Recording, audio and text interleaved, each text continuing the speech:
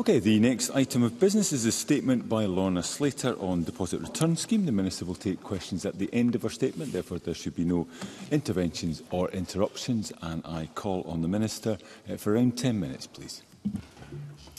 Presiding officer, I am grateful for the opportunity to update Parliament today on the latest position on the Internal Market Act exclusion for the deposit return scheme.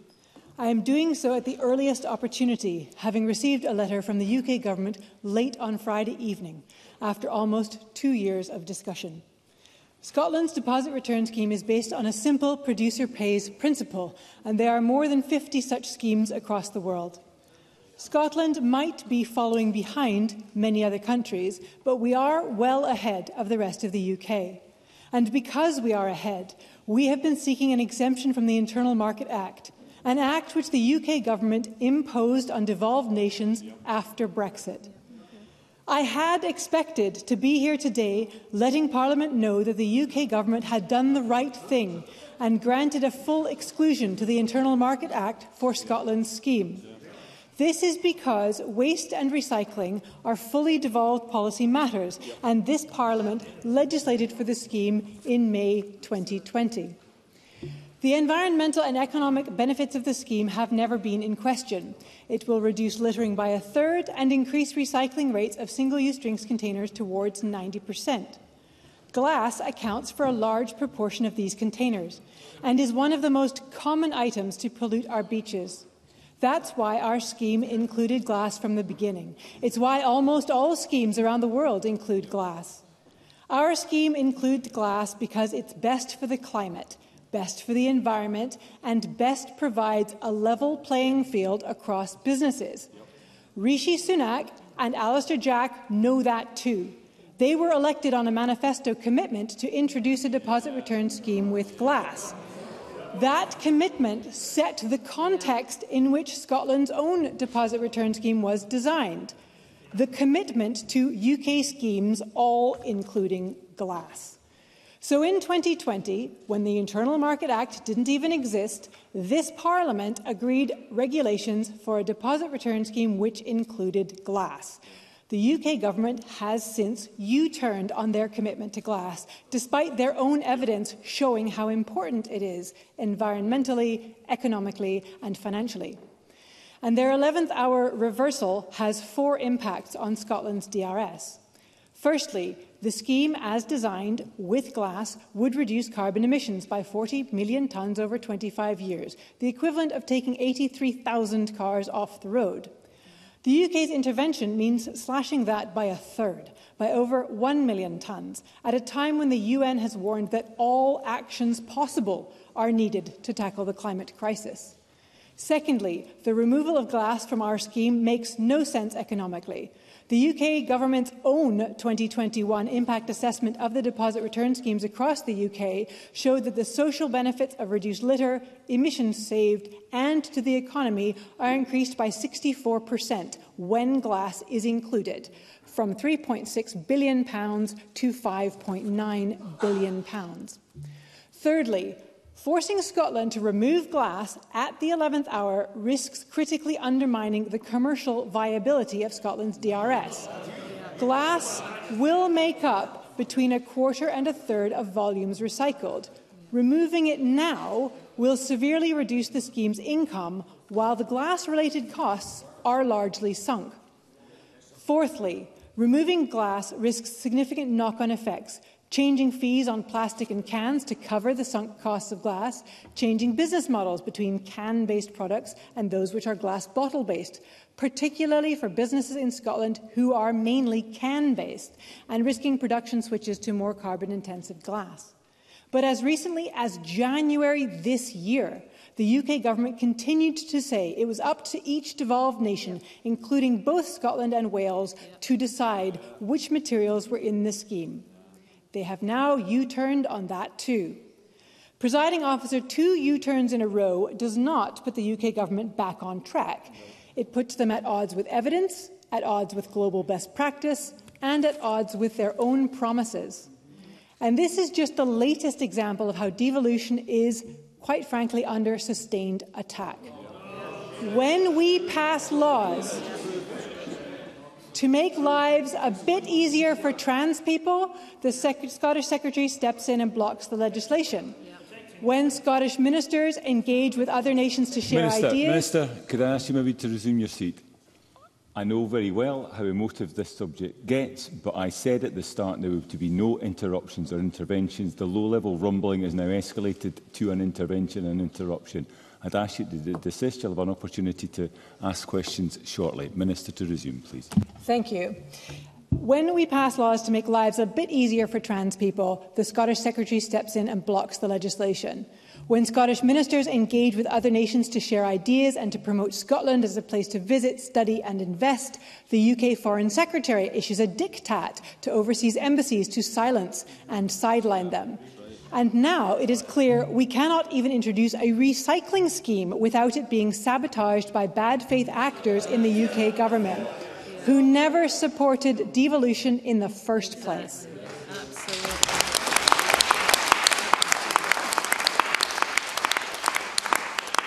The Scottish Secretary, whose job is supposed to be ensuring that devolution runs smoothly, seems more interested in torpedoing Scotland's Parliament than he is in protecting Scotland's environment. Excuse me, Minister. Interruptions can come in many forms. Can I please ask the Chamber as a whole to respect the fact that there should be no interventions no interruptions. Minister, I will give you the time back if you could resume. Thank you, Presiding Officer. The UK Government has told this Parliament that it cannot deliver this scheme that Parliament voted for. We can only echo a more limited scheme for England that the UK Parliament has not even voted for yet. The UK scheme has currently got no agreed legislation, no scheme administrator, no contracts, no credible timescale, and no glass. And yet we are expected to agree right now a maximum cap on the deposit levels across the UK before the Scottish scheme launches, a shared registration process, one marking or barcode across the UK, none of which currently exists. The aim of having schemes in the UK that work alongside each other and act as seamlessly as possible is entirely right, but that is not what the UK government is doing. Its approach has nothing to do with cooperation or partnership. It's our way or the highway. In Scotland, we can have a DRS that will be ready to launch next March. Scotland will finally be moving on with DRS in the UK and not just talking about it. And yet the UK government wants to sabotage the one scheme in the UK that will be ready to go for a UK scheme that is nothing more than a plan on a page. The UK government aims to appoint their scheme administrator in the summer of 2024 and launch their scheme barely a year later in autumn 2025. This is not credible. In reality, it looks like the UK government is kicking the can down the road. So my challenge to the UK government today is this to demonstrate how and when they will put in place a UK scheme for Scotland to align with. Show us a credible pathway. Yeah. The regulations, the scheme administrator, secure funding, the staff recruitment, the system development, the procurement of delivery contracts, the partnership work with producers and retailers. In other words, show us all of the things that we have been working on hard to put in place in Scotland. All of the things that will give businesses, producers, retailers, stakeholders the certainty that they need. So where does that leave us, presiding officer? If the UK government had given us the full exclusion that we had sought, then I would be here today setting out all the detailed steps that we are taking ahead of go live next March. But instead, we are now being forced to examine whether the deliberate sabotage by the UK government leaves us something that we can make work. We will need some time to go through the detail of the UK government decision and conditions, and I will update Parliament on next steps. There is still a win-win opportunity for the UK government if it immediately reverses its 11th hour decision and enables Scotland to pave the way for the all-in DRS scheme, including glass, that its own analysis concluded was the best option. That's what it should do. Presiding officer, this is about protecting our Scottish environment, but it is also more than that. It is about protecting our Scottish democracy. We are here as the consequence of a Brexit that Scotland didn't vote for. Every day, people are paying the price of reduced living standards, a weaker economy, and less money for public services like the NHS. Not just broken glass, but a broken union. A union of supposed equals exposed as anything but by a Tory government pursuing a scorched earth approach to devolution. Scotland deserves so much more than the broken pieces of devolution. We deserve always to get the governments we vote for and the policies we need. We should not have to put up with Westminster interfering with our Parliament and sabotaging important policies to suit their agenda. I look forward to a different future where we can have all the powers we need right here in this Parliament to deliver for the people of Scotland, to protect the environment and to build a stronger, fairer economy. Thank you, Minister. The Minister will now take questions on the issues raised in her statement. I, I intend to allow around uh, 20 minutes, after which we'll need to move on to the next item of business. I would ask members wishing to ask a question to press the request to speak button now, and I call first Maurice Golden.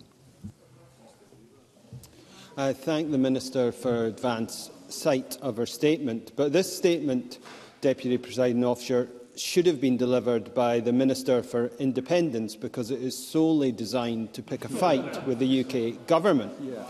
Anything to distract from the mess the member has made of deposit return. The scheme is on its third delay. Retailers have taken legal action and producer registration was such a shambles, the Minister couldn't bring herself to admit how many hadn't signed up for the scheme. I want the scheme to work. That's why I voted for it. It's why I called a debate on it when the Minister wouldn't. And it's why I've offered solutions. Mr Golden, could you resume your seat? The same applies to those asking questions as to the Minister in delivering the statement. Could we please listen to the questioner and we will listen to the response thereafter. Mr Golden, please resume. I'll give you the time back. Uh, thanks for that. Um, as I said, I want the scheme to work. That's why I voted for it. It's why I called a debate on it when the Minister wouldn't, and why I've offered solutions to the Minister in both public and private. The Minister has come to Parliament today not to update us on deposit return, but to indulge in an anti-UK rant. Yep. Yeah. She would rather pick a fight with the UK government than support a scheme that works for everyone. She has traded her environmentalism for nationalism. The Minister, the minister has today said the scheme can launch next March, but she assured us it would launch in August while secretly planning a delay. So, will the Minister be straight with business for once? Is deposit return going to launch on the 1st of March 2024? Yes or no? Minister. The member understands, and I know the member is being a bit disingenuous, he knows that the power here sits with the UK government because of that Internal Market Act. That Internal Market Act that was not consented to by this Parliament. And in that case, it is out of my hands. It is with the UK government. We have done everything that we can possibly do. We've done all the work that they now need to do. We've got a scheme administrator. We have the investment. We have the funding. We have the regulations passed by this Parliament. We are ready to go. The regulations were passed by this Parliament in 2020. Yeah. We are ready to go. The UK government has done none of that work, and moreover, they are using the Internal Market Act to block the work that we've done and the investment made by Scottish businesses, and that is a tragedy. Sarah Boyer. The Minister has chosen to make this statement about the Constitution and is using it as an excuse to divert attention from the utter mismanagement and the uncertainty her scheme has caused. She's already delayed the scheme to address the fact she had not listened to businesses at all, and she threatened to cancel it two weeks ago. But stakeholders have told me that despite, despite repeated requests, They have been unable to meet with the Minister or her officials when they had solutions to offer. So can the Minister now tell me this week, in answer to the question I asked her last week, whether she examined options which would prevent the need for an internal Market Act exemption altogether, a missed opportunity because repeated requests to meet have been turned down by the Minister and her officials. And can the Minister now tell us, in the light of her statement, exactly how much has been spent on this scheme and whether the deposit costs for cans and plastics will now have to go up? Minister. No, no, not one word. there were several questions in that which I will attempt to answer for the me member. In terms of the Internal Market Act and all the options, of course, we considered all the options. We know and we have known ever since the Internal Market Act was put in place that we needed an exemption to that Internal Market Act. That, that is something that is, is fully well understood. That's why we started that process back in 2021, yeah. nearly two years ago. I do meet with businesses regularly. I met this morning with uh, producers and with retail and hospitality representatives. I meet continually with businesses and indeed have listened very carefully to them.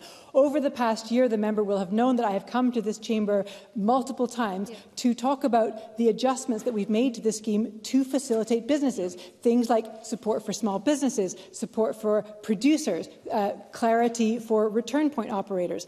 Uh, that is evidence of me working carefully with businesses and listening to them. I met with them this morning at the first possible opportunity after getting that letter late Friday night to have this conversation about how we now move forward with the scheme.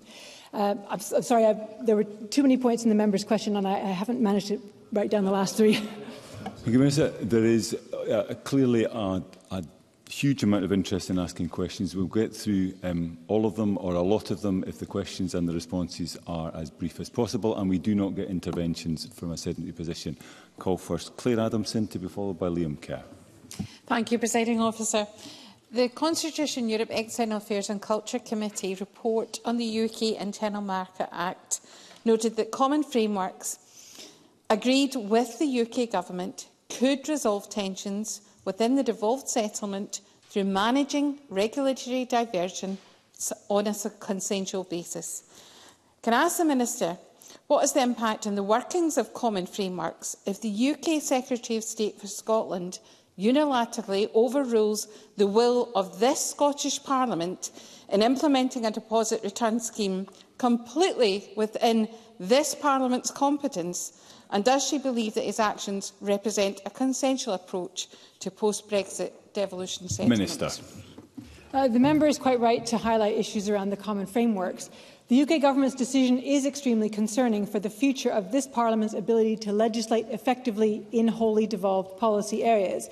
It also undermines the Common Frameworks process for exclusions with the, which the UK Government agreed with the devolved governments. The problem at the heart of this issue is the UK Government's hugely damaging Internal Market Act, which it imposed on this Parliament without its consent. The Scottish Parliament approved the Deposit Return Scheme for Scotland regulations in 2020, before the Internal Market Act was imposed on this Parliament without its consent. Liam Kerr to be followed by Jackie Dunbar. Thank you, Presiding Officer. Last week I flagged that the Minister's DRS scheme has cost the taxpayer around £220,000 so far, and I asked the Minister how much the Scottish Government had budgeted for, but she didn't know. Can she tell us now? Minister. Uh, the member will know that I did offer to write to the member with that information, so he will have that imminently if he doesn't have already. The Scotland's Deposit Return Scheme, as passed by this Parliament, is an industry-funded and industry-led scheme. So it is funded by the producers of these materials as a producer pays scheme.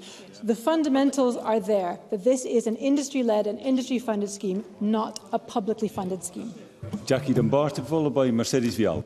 Thank you, President Officer. Can the Minister confirm that ultimately what we're seeing here, as the Scottish Government and many others feared, is the UK Government taking effective control over devolved policy making from the democratically elected Scottish Parliament And is she concerned about the precedents this may set. Minister. Indeed, uh, the member is quite right that this is a, a sincere threat to devolution, which I think even our Labour colleagues should be very concerned about. Anyone who believes in devolution needs to stand up for this Scottish Parliament's ability to make regulations and legislation in devolved areas. The UK government now being able to block legislation of this Parliament on a whim at very late day, even when Scottish businesses have invested an estimated £300 million in getting the scheme going, have recruited people to do these jobs, is a shocking state of affairs. This is not something that, that can continue forward. The UK government needs to recognise the common frameworks and work to our agreed processes, not govern on a whim. Mercedes Vialba to be followed by Christine Graham. I thank the Minister for advanced sight of her statement today.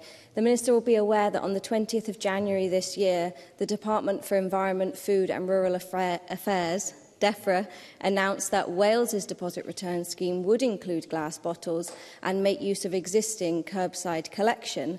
So can the Minister confirm when she last met with her counterparts in the Labour government in Wales, what discuss discussions she's had with them on Wales's plans for glass deposit returns and what our nation's governments can learn from one another as we seek to develop deposit return schemes to improve recycling rates across the whole Minister. country.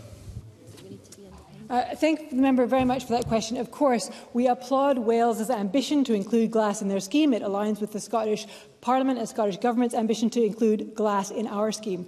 Wales is at a substantially different place in the development of their scheme. They have not yet passed their regulations through their Parliament. We did ours back in 2020. I think it very likely that Wales will come up against exactly the same problem that we have on the Internal Market Act. And to answer the member's question fully, the last time I spoke with Welsh colleagues colleagues was on Monday at the uh, IMG, regular monthly IMG meeting where deposit return scheme was covered and where the, our Welsh colleagues are extremely supportive of the Scottish Government position and they are very supportive of the devolution argument that the devolved nations should have powers over should you know, be able to make legislation on devolved powers. Uh, so we are in full uh, lockstep with the Welsh Government on this matter.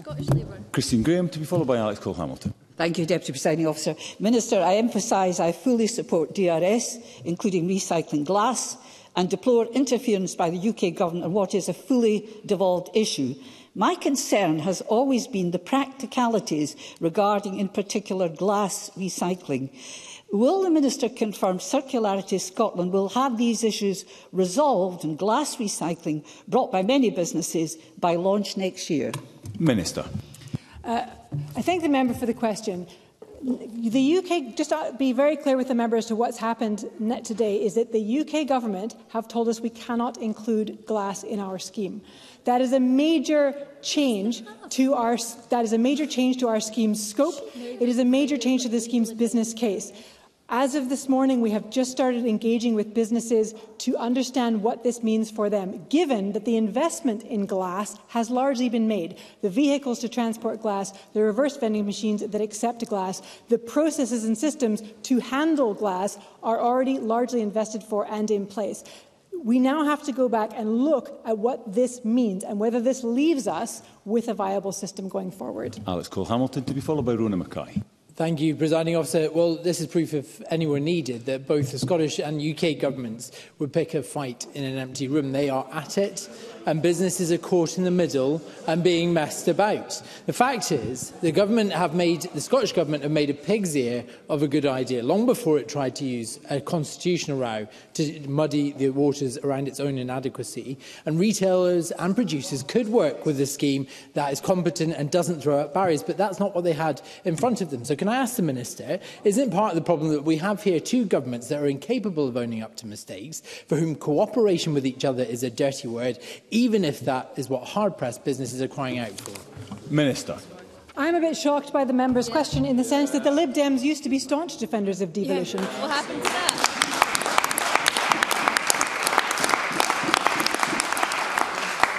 but now seem to be in the position of undermining hundreds of millions of pounds of investment that Scottish businesses have made in this scheme.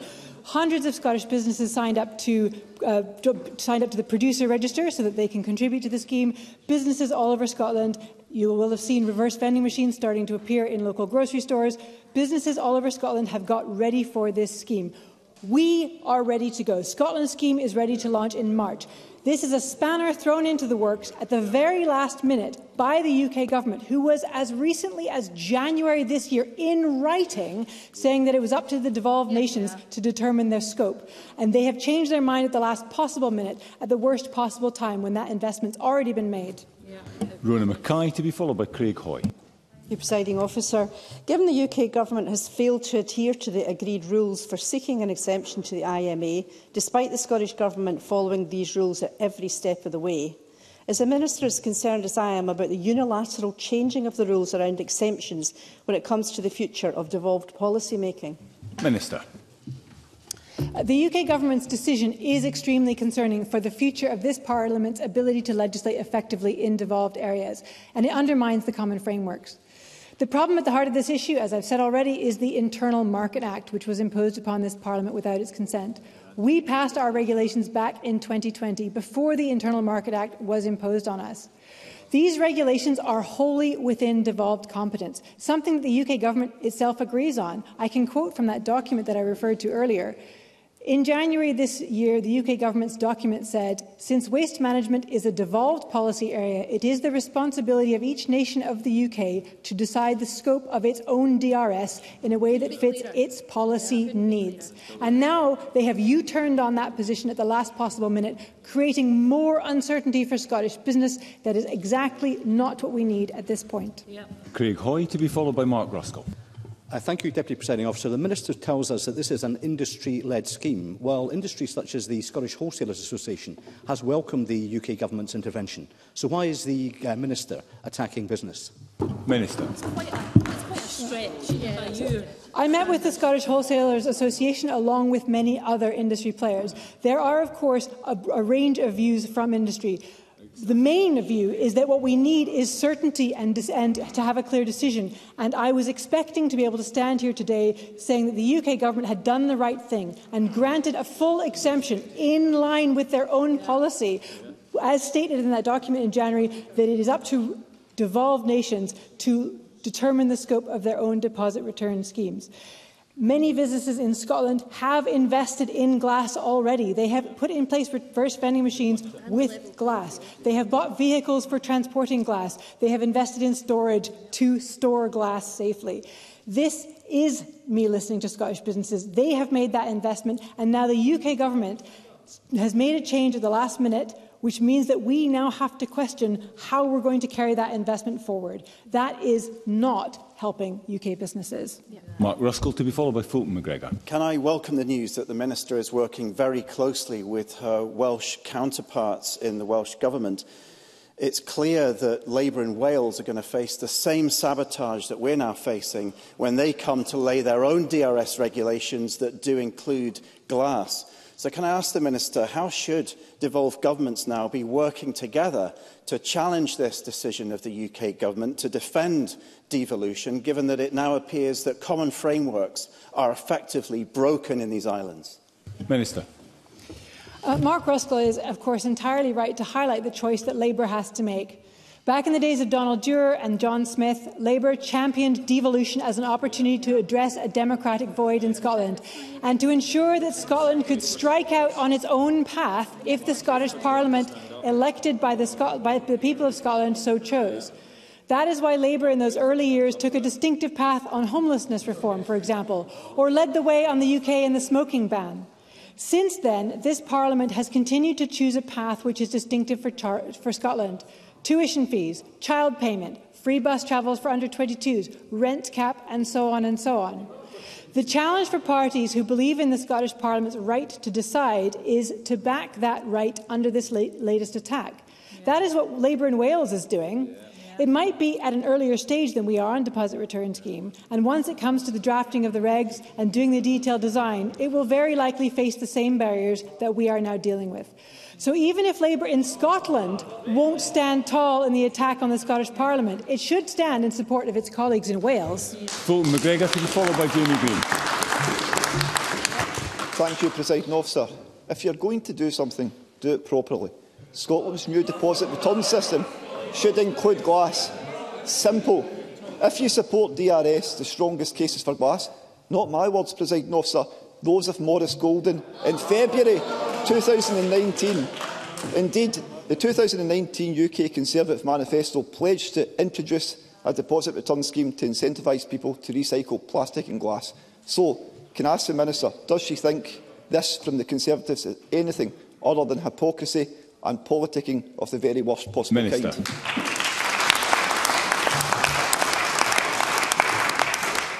Indeed, this must put members of the Conservative benches in a difficult position, given that Douglas Ross stood on a manifesto commitment to the Westminster Parliament of having a deposit return scheme with glass. And of course, Maurice Golden has stated the support for glass and made arguments for the inclusion of glass, which I really couldn't have stated better myself. He, he makes an excellent case for why we should have glass in the scheme. Of the 51 territories and countries operating deposit return schemes, 45 include glass. The UK government's own analysis of deposit return schemes across the UK show that the social benefits of reduced litter, emissions saved and to the economy are increased by 64% when glass is included. Glass is one of our most common items to pollute our streets and beaches. By not including glass, glass bottles will unnecessarily end up as broken glass in our streets, our parks and on our beaches. Jamie Green to be followed by uh, Colin Smith. Uh, thank you, uh, Deputy Presiding Officer. Uh, presumably the point of the Internal Market Act is to identify what effect any regulatory divergence would have on the trade and flow of goods and products across the border. Uh, in that vein, Uh, can I ask if the Minister is willing to publish the Scottish Government's own analysis of what their DRS scheme would have on Scottish drinks producers? Minister. Uh, the, as the member will know, we have published uh, all of our impact assessments, which include impact assessments which include trade, impact assessments which include consumer choice. Uh, we can direct the member to where those have been published online so that he can read them. The whole purpose of devolution is to allow regulatory divergence yeah. so that we can do things differently in Scotland which are correct for us. And as I say, up until January this year, the UK government supported and have in writing said that it is up to devolved nations to decide the scope of their schemes. It is not unusual for there to exist different deposit return schemes within an internal market. For example, within the EU, there are some nations and regions that have deposit return and some that don't, although all of them are committed to uh, doing it before 2029. Colin Smyth, to be followed by Jamie Halcro Johnston. Thank you, President Officer. My constituents who live near the border and routinely buy, or if it's a business, sell on both sides of that border, often in the same day, aren't interested in the constitutional bickering we've had today. The lack of clarity, the, la the, the lack of clarity The lack of clarity over... Mr Gray, please, could you desist from heckling from a sedentary position? The lack of clarity over alignment are actually real concerns of businesses in my constituency. Maybe the Minister might Question, want to listen to that. If If there are any further delays in the Scottish scheme uh, and the 2025 date for the Welsh and English scheme looms ever closer, at what point does the Minister conclude that actually bringing the schemes in at the same time makes sense when it comes to that alignment, as the Welsh Government have concluded? Minister. Um, the 2025 date for the UK schemes would mean that they would pass their regulations, get in place a scheme administrator, get the funding in place, get the contracts in place, the infrastructure in place in less than two years. That is not credible that they will launch a scheme by 2025. We are all in agreement that the best scheme would be alignment of all of the UK. That is why when this Parliament passed the reg regulations in 2020, it was with the understanding that all nations in the UK would include glass, because that is what was in the Tory manifesto in 2019. This is a betrayal of Tory voters to take this U-turn on this position. Jamie Halter-Johnson to be followed by Fergus Hugh.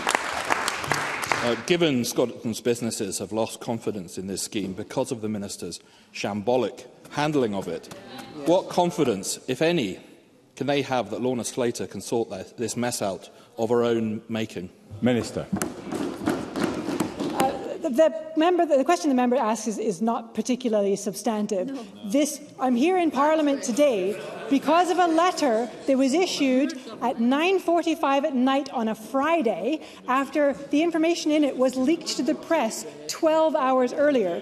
A Mr Halcro Johnston, you've asked the question, listen to the response. A disrespectful way to treat this Parliament, and now meaning that instead of today, instead of today me being here to to lay out before you how we are going to move toward our launch on March 1st. I am instead here telling you how the UK government has, at the last minute, put in a spanner in the works to sabotage our scheme that we now have to figure out a way forward for Scottish businesses that have invested in good faith according to the regulations passed by this Parliament, that the UK government has called into question and undermined that investment and those jobs. Fergus Ewing, to be followed by Murdo Fraser.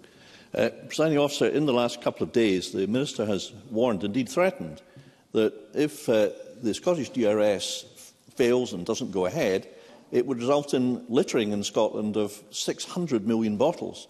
Um, something else, the population of this country is 5.5 million.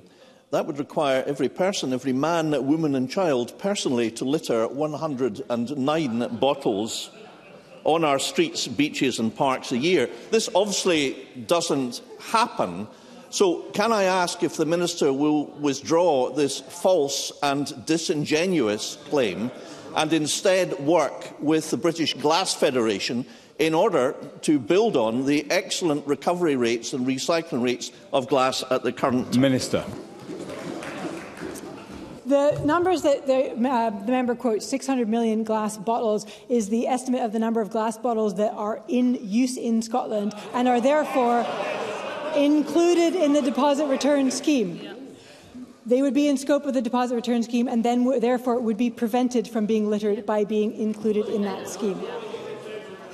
Given that the, given the UK's late stage intervention that has removed glass from the scheme, this does not give us the scope to work with businesses on glass. It has been removed against the will of this Parliament and against all of the evidence that the UK government has for why including glass is a good idea. And very briefly, Murdo Fraser. Thank you, Presiding Officer. How many of the 600 million bottles Fergus Ewing has just referred to are already being recycled?